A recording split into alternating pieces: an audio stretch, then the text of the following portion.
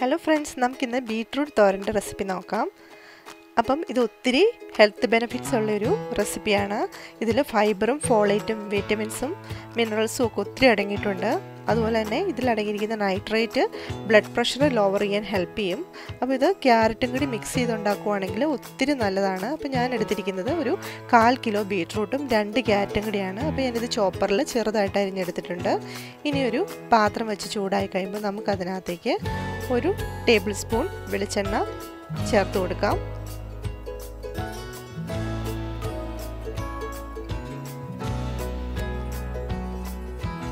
വെളിച്ചെണ്ണ ഒന്ന് ചൂടായി വരണം.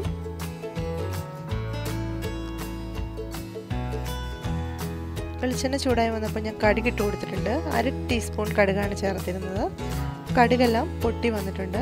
നമുക്കിതിനകത്തേക്ക് ഒരു രണ്ടോ മൂന്നോ അല്ലി വെളുത്തുള്ളി അരിഞ്ഞത് ചേർത്ത് കൊടുക്കാം. ഇനി ഞാൻ അര മുറി സവോള ചെറുതായിട്ട് അരിഞ്ഞെടുത്തിട്ടുണ്ട്. പിന്നെ ഒരു തണ്ട് കറിവേപ്പില. പിന്നെ നിങ്ങളുടെ എരിവിനനുസരിച്ച് പച്ചമുളകും ഉണക്കമുളകും ചേർക്കാവുന്നതാണ്. ഞാൻ ചേർത്തിരിക്കുന്നത് ഒരു പച്ചമുളകും മൂന്ന് ഉണക്കമുളകുമാണ്. ഞങ്ങൾ കുട്ടികൾക്കും കൂടി കൊടുക്കുന്നതുകൊണ്ട് എരിവ് വളരെ കുറച്ചാണ് ഉപയോഗിക്കുന്നത്. ഇത് പെട്ടെന്ന് വഴണ്ട് വരാൻ വേണ്ടിയിട്ട് നമുക്ക് കുറച്ച് ഉപ്പ് ചേർത്ത് കൊടുക്കാം.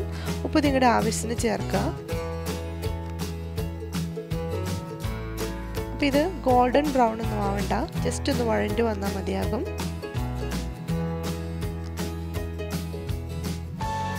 അപ്പോൾ ഇത് വഴണ്ട് വന്നിട്ടുണ്ട്. നമുക്കിനി അരിഞ്ഞു വെച്ചിരിക്കുന്ന ക്യാരറ്റും ബീട്രൂട്ടും കൂടി ചേർത്ത് കൊടുക്കാം. അപ്പോൾ ഇത് ഷ്രെഡ് ചെയ്തെടുക്കുന്നതിനേക്കാളും നല്ലത് കൊത്തി അരിഞ്ഞെടുക്കുന്നതായിരിക്കും. ഞാനിത് ചോപ്പറിലാണ് അരിഞ്ഞത്. അപ്പോൾ ഒരു ചോപ്പർ ഉണ്ടെങ്കിൽ ഇങ്ങനെയുള്ള സാധനങ്ങളൊക്കെ നമുക്ക് വളരെ പെട്ടെന്ന് അരിഞ്ഞെടുക്കാൻ പറ്റും.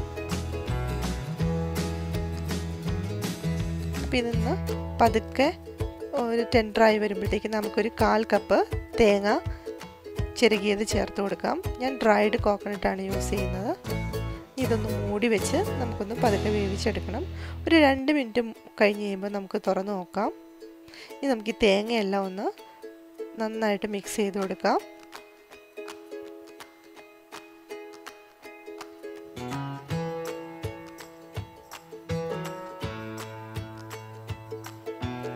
നമുക്ക് കുറച്ച് കറിവേപ്പില ഇതിന്റെ മുകളിലേക്ക് ഇട്ട് കൊടുക്കാം.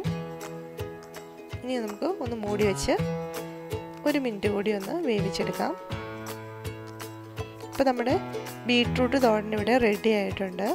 വളരെ ഹെൽത്തിയാണ് അതുപോലെ തന്നെ കുഞ്ഞുങ്ങൾക്കൊക്കെ കൊടുക്കാൻ നല്ലതാണ്. അപ്പോൾ ചോറിൽ നല്ലൊരു കളർ കൂടി കിട്ടുന്നത് കൊണ്ട് തന്നെ പിള്ളേരാണെങ്കിലും കഴിച്ചോളും. നിങ്ങളെല്ലാവരും ട്രൈ ചെയ്യുക. Thank for watching bye